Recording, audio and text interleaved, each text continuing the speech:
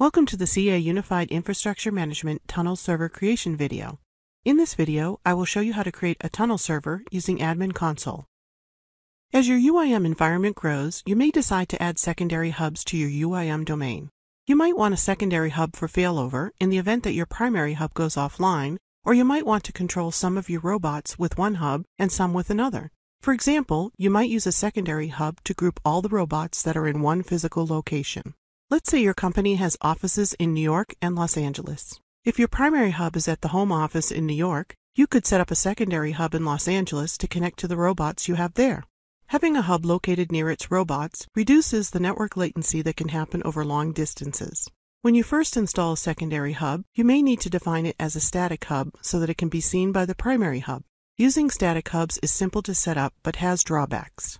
Connecting two hubs statically is not secure. The traffic between the two hubs cannot be encrypted. If you have one or more firewalls between your hubs, you cannot fine tune the connection to suit your firewall rules, and in large complex environments, you can't specify how your hubs connect to each other. That is, you can't enforce that primary hub A only talks directly to secondary hub B, and that secondary hub C only talks directly to secondary hub B.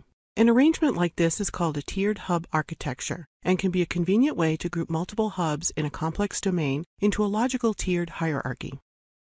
You can resolve these issues by using tunnels. Using tunnels between hubs is a best practice.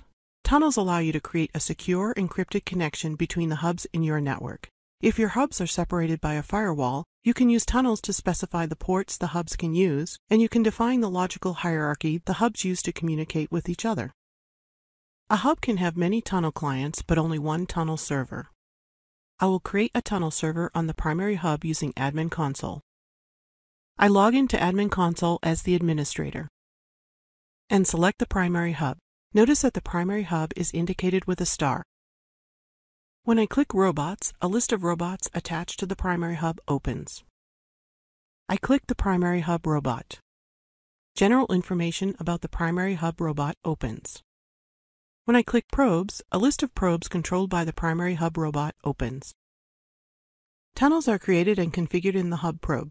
I scroll down in the list and locate the hub probe and click the Inline Actions menu button next to it. In the drop-down menu that opens, I select Configure. The hub probe configuration page opens in a new browser tab. Select Tunnel Settings. Be aware that the default tunnel port number is 48003. If I needed to use a different port number, due to firewall rules for instance, I would select the checkbox Ignore Controller First Probe Port, and then enter the tunnel port number I want to use in the first tunnel port field. Since I want to use the default tunnel port, I won't make any changes on this page.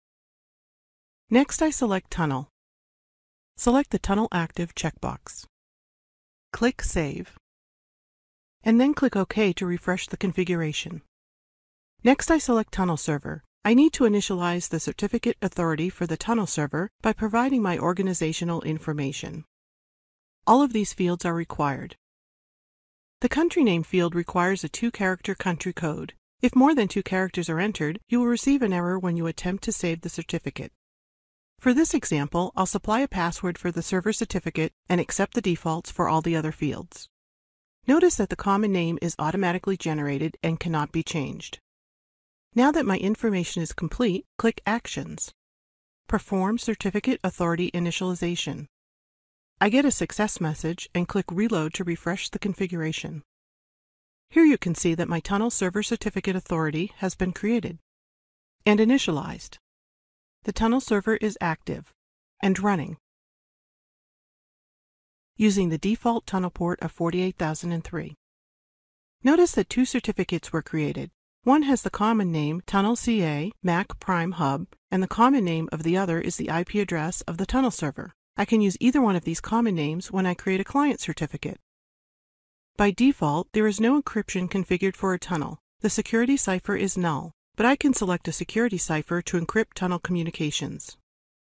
Click the down arrow in the security setting box and select a built-in cipher to use. I can select low, medium, or high cipher security or select Custom.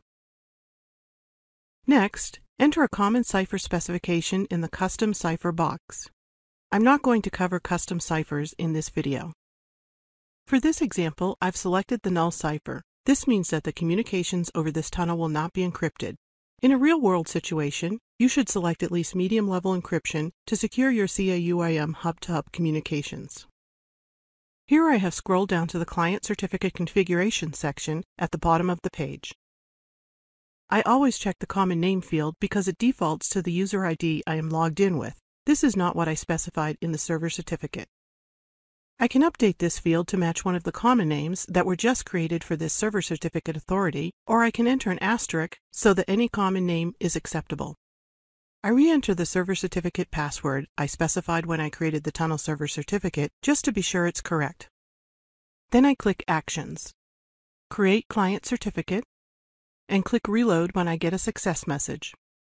After reloading, the page is refreshed. I scroll down to the Client Certificate list near the bottom to see that a new Client Certificate entry now exists in the Client Certificate list. I continue scrolling all the way to the bottom of the page where I can see my new Client Certificate. I verify that it contains the common name I specified, which in this case is the asterisk. And I can see the new Client Certificate in the Certificate box. This is the certificate I will need when I create the tunnel client to connect to this tunnel server. I need to make a copy of it so that I can supply it to the Tunnel client. I will describe this process in the Tunnel client creation video. To save the certificate, I click inside the certificate box, click Ctrl-A to select the entire certificate, and Ctrl-C to copy it to the clipboard. To save the certificate, I open a text editor like Notepad and paste the entire client certificate into it, then save the file. Remember, I'm going to need this certificate later on when I create a tunnel client on the secondary hub. Now that I have saved my client certificate, I scroll back to the top of the page. It is important to scroll all the way back to the top because there are two Actions buttons on this page with different options. Click Actions. Start Tunnel. Click Reload to refresh the configuration. Click Save and OK to refresh the configuration. My tunnel server is now running and ready to accept connections from one or more tunnel clients. It is okay to close the hub configuration and return to the main admin console page. In the next video, I will show you how to create a tunnel client and connect it to this tunnel server. For more detailed information about CA Unified Infrastructure Management, refer to the CA DocOps platform. Or visit the CA UIM community to join in the discussion. The links can be found in the YouTube description located below this video.